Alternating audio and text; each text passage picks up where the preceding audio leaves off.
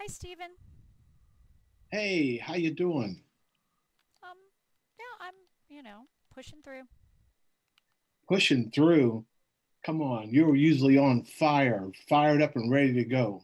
Something's going on. What's happening? Well, I, I mean, Stephen, this is, I'm so tired of not being able to go anywhere or do anything. I'm, I'm being so cautious. I'm trying to follow directions, but it's just, there's so much going on and, and you'd think I'd be getting all the work in the world done being here, but it's just really hard to focus and so I just I don't know. I thought the same thing. We're working from home. I'll get so much done. I get all my exercise in. I'm just zoom, zoom, zoom, slack, slack, slack, zoom. Then it's 10 o'clock at night. I, So absolutely. I haven't I, I don't think I used to go to yoga three times a week and, and you'd think I would have been doing it every day, but every day there's something that I feel like I have to get done and then the week rolls up and I look back and I think, oh my gosh, what did I actually do? Hey, you know one thing I found?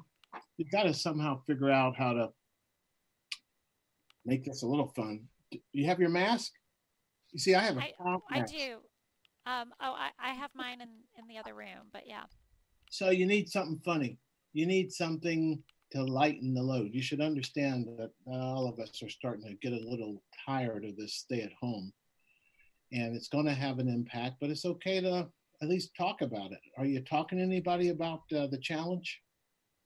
Um, well, I mean, now I, I, you kind of opened that door now, which I appreciate, but I just don't feel like, I feel like everybody's got so much on their plate and, you know, most of the people on our team are home and they've got kids and spouses and everybody, everything's going on. They're so busy and I feel like, who am I?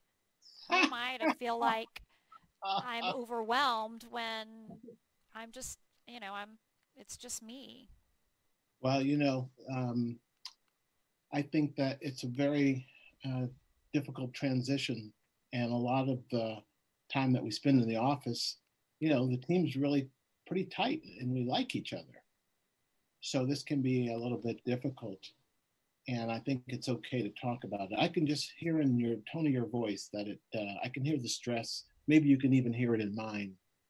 So we need to figure out some ways that we. Um, are physically distant, follow the guidelines, but socially connected. In some ways, think about it. I've never been to your house, but I'm looking at your place. It's great. Um, well, thanks. I, you know, I've got this screen up because I don't want you to see what's on the other side of it. But, uh, yeah, so I fashioned the best that I could because it, it said that it was better to actually go on camera and be seen for Zoom calls. So I'm trying, Yeah. but I don't always feel like putting on makeup or feeling like I want to be camera ready all the time. So, um, how might we make um, being on Zoom a little more fun? Uh, not so Well, I much. don't know because I there's so much work to be done. I just feel like I feel like we got to get right to the point. I I never feel like I'm allowed or not allowed, but I just don't feel like it's appropriate to take that extra time because time is money and we got to get work done. Well, you know, um, we got to get work done, but we have to do it smart. And we're not going to get there if we kind of don't take care of ourselves. And um, maybe I need to do a better job of uh, making it okay for us to take care of each other and to take care of ourselves. Uh, we're on Zoom a lot. We're on Slack. We're doing emails. But how how would you feel about getting an actual card in the mail? Wow, I I don't think I've gotten anything but junk mail forever. And I'm wondering I if mean, we I, I had a birthday a couple of months ago and I I got one card. well, you know, we have these production schedules and timelines, and and and you know, the pandemic has thrown everything kind of up in the air, and and um, we're all challenged to meet the same benchmarks and kind of productivity that we did before the pandemic. And so, you know, your numbers don't look like they used to, and um, understandable. Uh, but the fact is that when you look outside, it looks like a normal, perfect day. And yet there's a deadly virus out there that has resulted in us having to literally, literally change our lives. I'm wondering if you've learned any lessons so far that we should take forward into the future. Is there anything that you've learned in this in this phase we're in right now, this stay at home, this work from home, this Zoom, Slack, Slack, Zoom? Are there any lessons that we should take with us when we return to whatever the new future will be? Hmm. Wow, that's that's a really great question, Stephen. I think that I I think I've learned that human connection is important. I always considered myself a loner. That you know, you know me. I'm not a. I don't go out and hug people in the office, but to have just not had physical contact for what is this a couple of months now, it seems very bizarre and and so I think I've learned that where I thought I didn't need that, I do. And and then I have in the last week started taking some walks and just stepping away and trying to get some fresh air and stepping outside and and I think I'm trying to learn how to balance work life even though I thought that when I was all by myself you know, like I said, I should be getting tons of things done, and yet I get distracted. I went, I went, I started cleaning out my closet the other day and didn't send a single email. Oh my goodness! And I know you probably felt bad about that. Oh, I, I think horrible. Yeah, I really have to do a better job and communicate to central administration that we have to model that balance, and maybe um, you know um, we go from the informal water fountain conversations in the office all the way then to something more formal like employee assistance programs. Is, is there anything in between that you think could be helpful?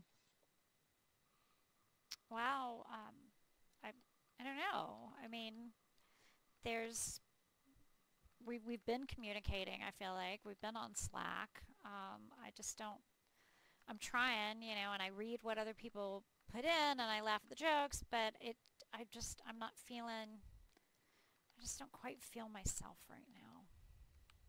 Well, a lot of us may have that same feeling. I think we have to be a lot more tolerant with one another, but I'm wondering do you do you have a mentor? Um, not currently. Do you have a tormentor? Very funny. Uh, no, only my upstairs neighbor when they walk too hard on the floor. That's my only tormentor.